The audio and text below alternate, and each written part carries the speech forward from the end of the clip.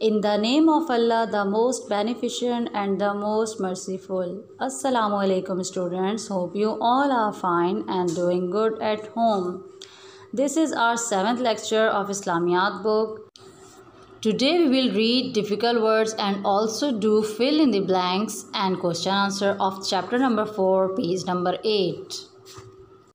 Okay student अब हम मुश्किल अल्फाज के मायने पढ़ेंगे शरीक शरीक के मायने हैं हिस्सेदार। असमाउल हुस्ना। असमाउल हुस्ना के मायने हैं अल्लाह ताला के प्यारे प्यारे नाम। क्या आप अल्लाह ताला के इन प्यारे नामों को बार बार पढ़ते हैं? हाँ नहीं। हम हाँ वाले बॉक्स में टिक लगाएँगे। दिए गए अल्फाज की मदद से खाली जगह पुर करें। अल्लाह। एक इबादत, हमेशा, औलाद, हमेशा।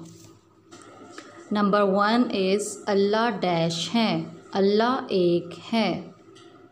नंबर टू अल्लाह के सिवा कोई डैश के लायक नहीं। अल्लाह के सिवा कोई इबादत के लायक नहीं। नंबर थ्री अल्लाह की कोई डैश नहीं और ना वो किसी से पैदा हुआ। अल्लाह की कोई औलाद नहीं और ना वो किसी से पैदा हुआ। नंबर फोर, अल्लाह ताला डैश से है और डैश रहेगा। अल्लाह ताला हमेशा से है और हमेशा रहेगा। नंबर फाइव, डैश सबका पैदा करने वाला है। अल्लाह ताला सबका पैदा करने वाला है। मुख्तसर जवाब लिखें। इस्लामियात के तमाम सवाल हम ज़ुबानी याद करेंगे और हर सबक में से एक या दो सवालों की इस्लामियात कॉपी में मश करेंगे। सवाल नंबर एक, अल्लाह ताला के प्यारे नामों को क्या कहते हैं? इसका जवाब है, अल्लाह ताला के प्यारे नामों को असमाउल हुस्ना कहते हैं।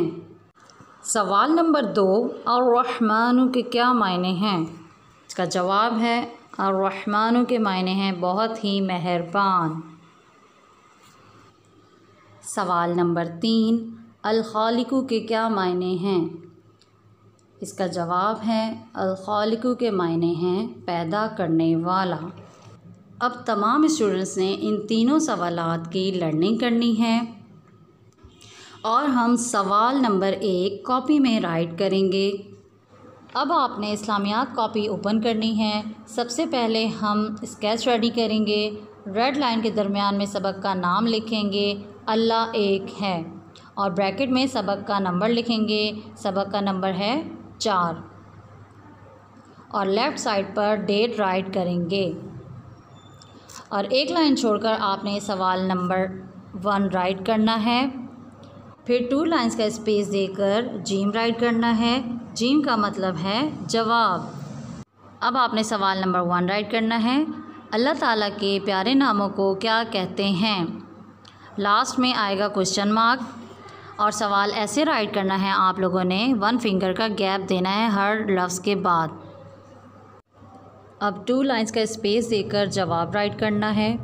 अल्लाह ताला के प्यारे नामों को असमाउल हुस्ना कहते हैं। एंड में लगानी है आप लोगों ने dash.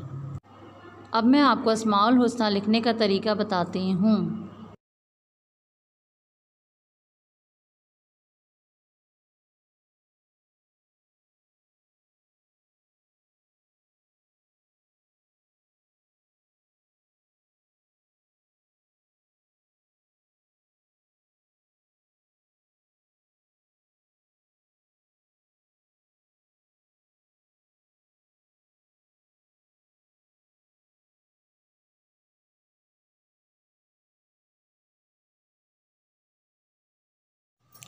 Do homework page number 8 of Islamiyat book.